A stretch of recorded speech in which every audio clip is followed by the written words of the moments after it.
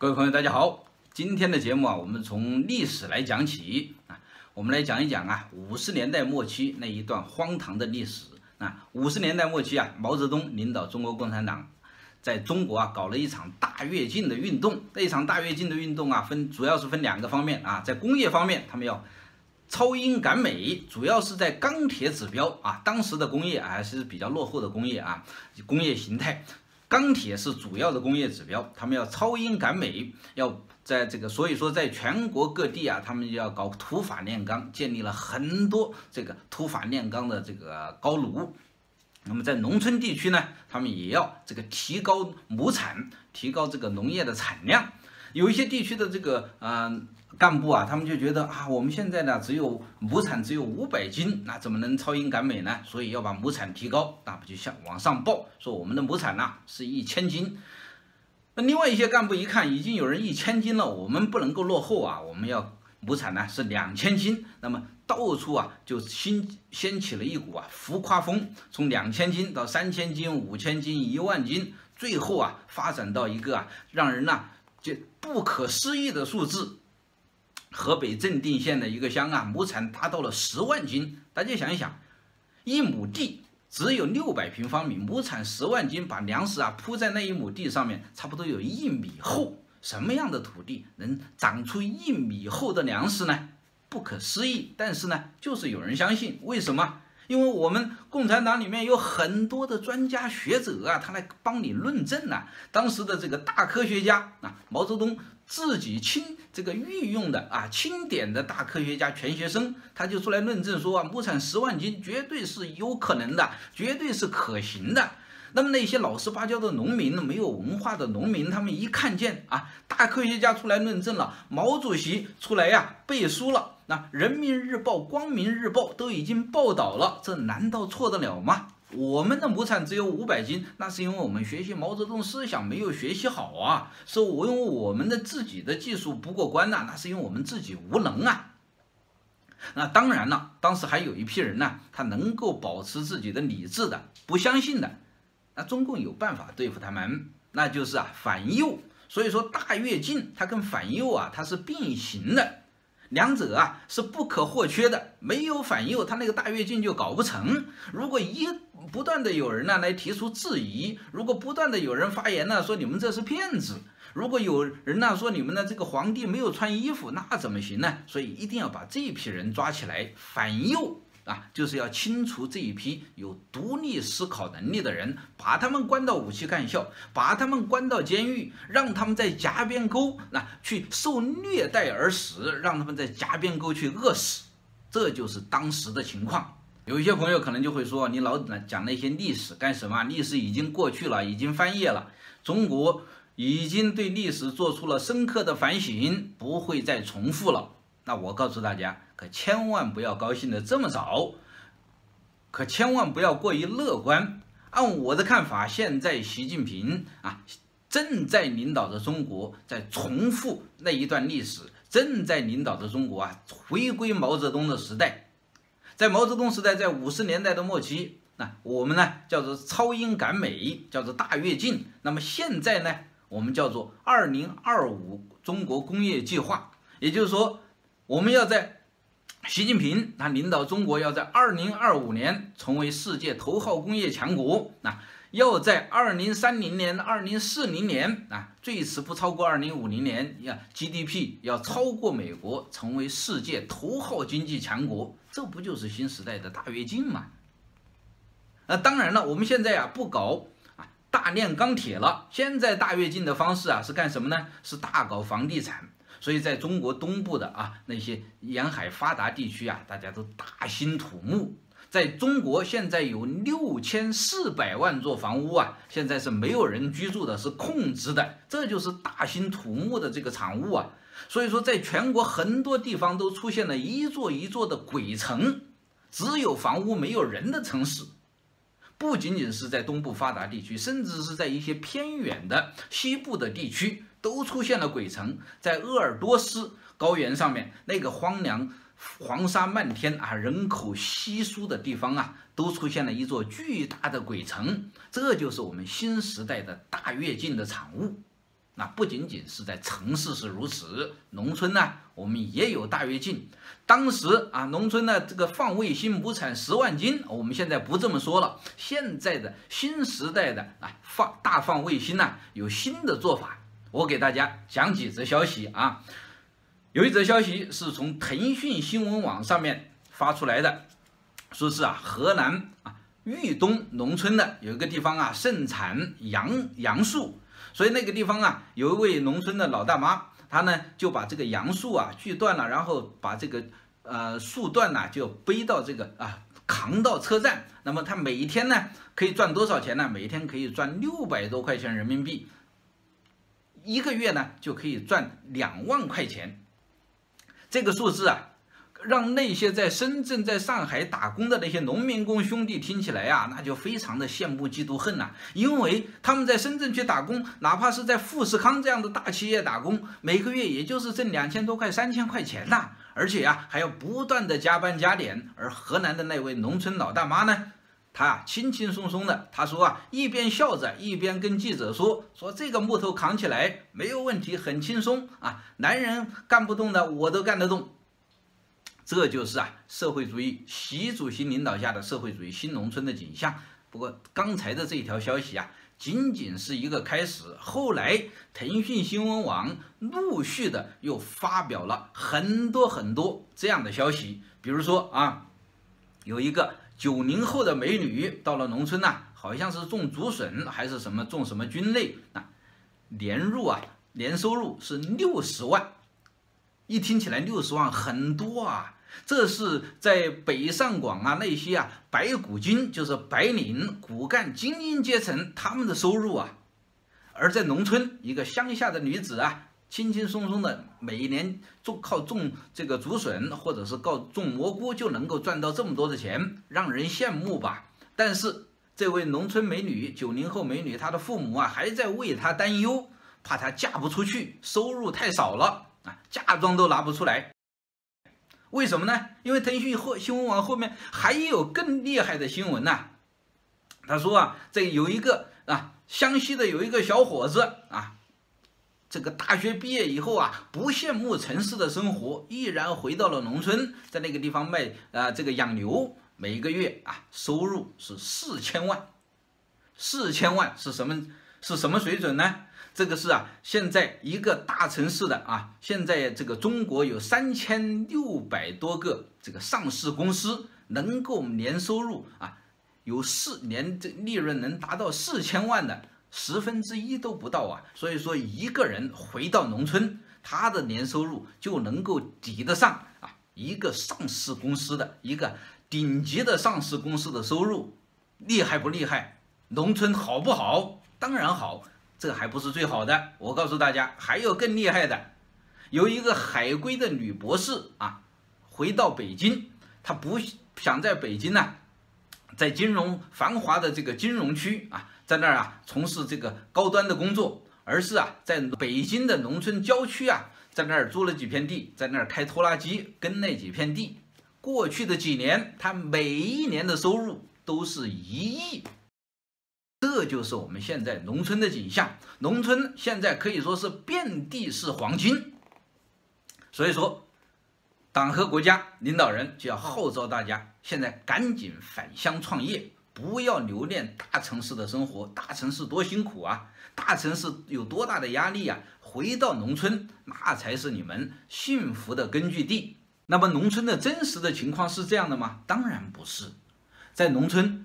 种田是赚不到钱的，因为种田的成本太高了，种子的成本太高了，化肥成本太高了，农药的成本太高了，各种各样的成本加起来太高了，而种出来的产品，农产品它的价格又非常的低，所以在很多地方。那绝大部分地方种田呢是赚不着钱，在有一些地方种田甚种田甚至是赔钱的，所以说有很多的农民兄弟，他们宁愿把土地抛荒，也不愿意种田。现在全国各地都有大面积的土地被抛荒，所以有几亿农民工兄弟，他们背井离乡到大城市里面去，就是因为在农村他们赚不到钱，没有办法过生活。那么现在你要他们这个返乡创业，他根本不可能创业嘛。现在农村的情况一点都没有变嘛。但是我们的这个所谓的党和国家的领导人还在一遍一遍的鼓噪，要大家呀回农村啊，农村有广阔天地，农村呐前景一片大好。为什么他们要这样欺骗大家，要欺骗国人？因为啊，现在。中共的这个经济啊，现在正在大滑坡，即将啊走向崩溃。而这个经济滑坡和崩溃的过程呢，一定是伴随着一个现象，就是啊大规模的失业。很多城市的居民，很多农民工，他们呢会失去工作，很多的这个企业会倒闭。就在二零一八年的上半年，就有五百万家企业倒闭了。中国一共的企业是三三万啊三千六百万家，所以说差不多有六分之一的企业已经倒闭了。那么现在还仅仅是一个开始，还会有更多的企业倒闭，还会有更多的人失业。现在的失业人口可能已经有几千万了，可能有上亿了。现在还仅仅是一个开始。那么中共知道。如果让这些失业的人口留在城市，尤其是留在大城市，这将是对他们的政权安全、制度安全是一个重大的隐患。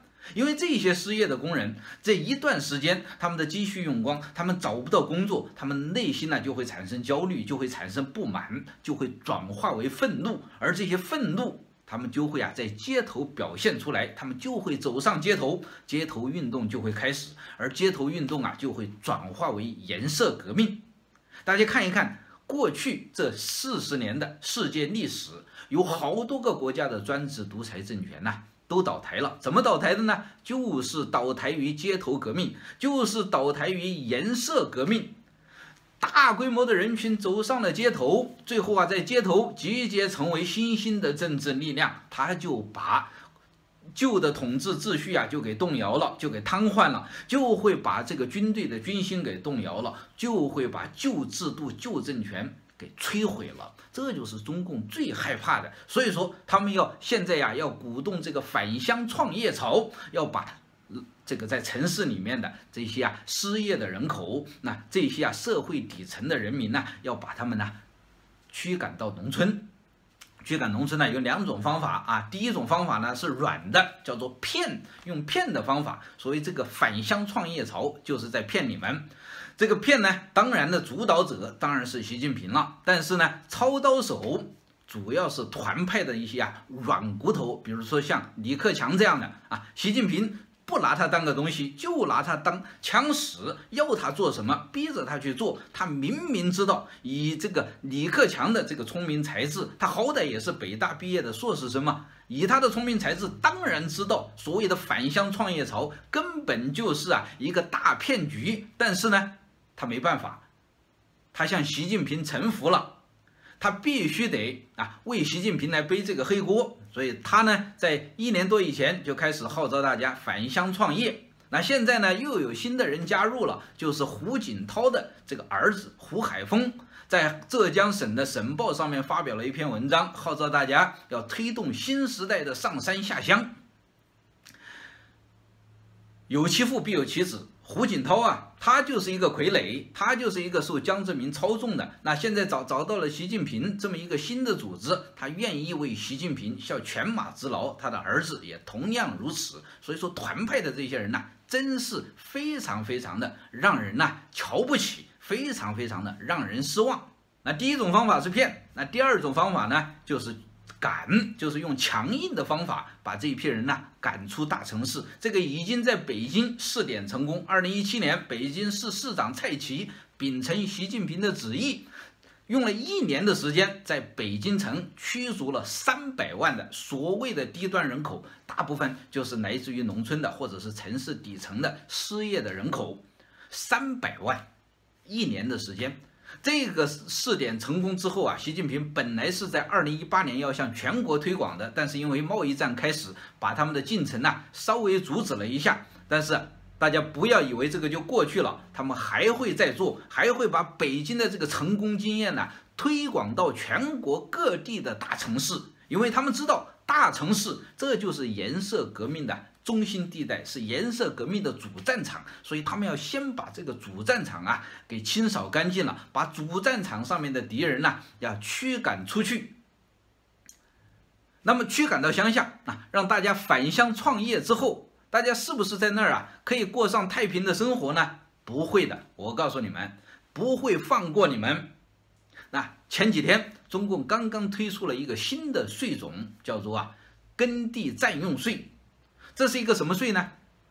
本来在农村地区啊，在二零零八年还是零七年的时候，那农业税已经取消了。据共产党说啊，这是历史上少有的啊一个德政。但是呢，现在呀，新的税种又来了，耕地占用税。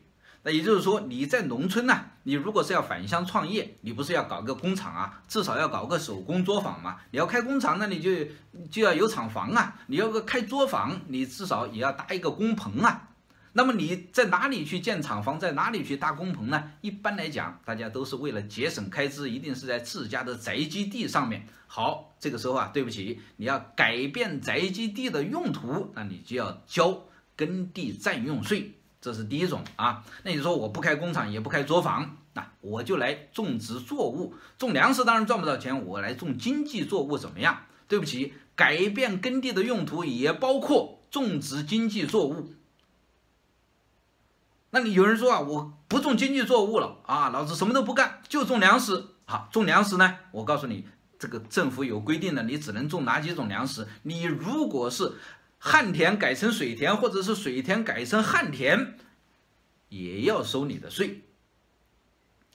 那这种情况下，有些人说啊，我在城市里面过去呀，辛辛苦苦干了几十年啊，现在手上还有个几万块钱的收入，我现在呀什么都不干，我偷偷摸摸做点呢，这个呃就是种点蔬菜，我自己啊买点粮食，然后我就这么过下去，哇，不给你交税，行不行呢？也不行，因为啊，我们还有一个现在正在进行的一个大工程，习近平要在全国各地重新恢复农村供销合作社系统。这是个什么概念呢？就是说，将来农村地区的所有的人的开支，所有人的这个开啊这消费啊，都要通过这个供销合作社系统来进行。供销合作社垄断全国各地的农村居民的消费，每你花每一分钱都要让他们赚钱，他们要把你口袋里面的所有的钱都赚过去，让你恢复到赤贫的状态。这就是啊。现在返乡创业潮给大家挖下的一个巨大的陷阱，如果任由这种趋势啊发展下去，如果我们所有的人都不出来阻止，任由习近平这么胡闹下去，那么我告诉大家，毛泽东时代一定会回归，大跃进一定会回归。更可怕的是，大家记不记得大跃进过后是什么？是大饥荒，饿死了三千多万人呐！在城市里面的人都吃不饱，农村的人一片一片的成为饿殍。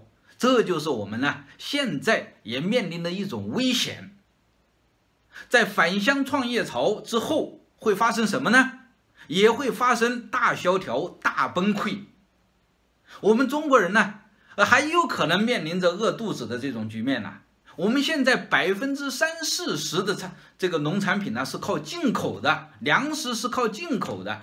如果我们农村啊、城市里面没有人做工了，如果我们的工业啊都倒闭了，那么我们用什么样的方法能够换得那么多的粮食呢？我们哪里有钱换取那么多的粮食呢？如果我们的外币啊，这个外汇。都被那些权贵家族啊，被他们垄断了，被他们转移到了海外了。那么我们将来中国人用什么来购买粮食？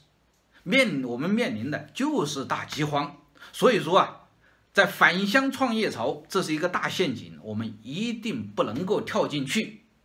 那有些朋友可能会有这样的疑虑啊、疑问，他说啊，那你把。习近平啊，中共他们把大量的人口赶到农村去了，他们怕人这些人口啊在城市里面呢给他们造成不便啊，冲击他们的统治秩序。难道在农村不能造反吗？当然可以，但是呢，非常的困难。现在中共啊，已经开始了他们的防止农村居民呐造反的这种举动。前几天大家都看见了，有很多的视频从全国各地啊流传到网上的，就是啊，大量的这个黑衣服的这个黑皮狗、黑衣警察呀，到农村地区去啊，当农村居民呐大家聚集在一起庆祝春节，大家亲戚朋友聚会的时候，他们去砸场子。不准农村居民呐聚集在一起，为什么？怕你们聚集在一起啊，你们的愤怒、你们的不满呢，就会形成共振呐，就开开始造反呐。而在农村地区，他们控制这些聚集啊，就相对的比较容易。现在他们用的是黑皮警察，那么今后他们还会建立一个。民兵系统就是要把农村那些二流子啊，那些地痞流氓，把他们征召起来，让他们形成民兵，由他们来控制，来维持农村的秩序。将来农村的居民，你们无论你们现在是退伍军人，还是大学毕业生，还是啊农民工兄弟，一旦回到农村，你们就落到了那一批人的手上。所以说，绝对不能够回去，回去了。你们很难再反抗，大家留在城市里面，尽量的找工作。如果万一你们找不到工作，大家一定要记得，这不是你们的错，这是这个社会的错，这是这个政府的错。如果一个勤劳的人想上班，但是不能够上班，那么你就有权利上街去抗争，你就有权利发出你的怒吼。今年三月五号。人民代表大会又要召开，人民代表大会按照他的词义，他就是应当表达民意的，他就是应当代表人民啊，发出人民的诉求的。那么今年三月五号，这是一个上街的好时机，所有的这些农民工朋友。所有的这些退伍军人朋友，大学毕业以后还没有找到工作的年轻的朋友，你们如果内心里面有愤怒、有不满、有诉求，这是一个很好的大家一起来提出自己的诉求、来表达自己的情绪的一个时机。我们要把我们的这个。呐喊要发出来，让那些在北京参加两会的人，那些应当代表民意而没有代表民意的人，要给他们压力，让他们听见我们的呼声。我们就用这种办法来改变我们的自己的命运，来改变这个国家，让这个国家，让任何城市，让任何农村都变得适合我们中国人居住，让我们在任何地方都能够。赢得一个体面的、有尊严的生活。三月五号，大家一起上街。好，谢谢大家的收听，今天就讲到这里，再见。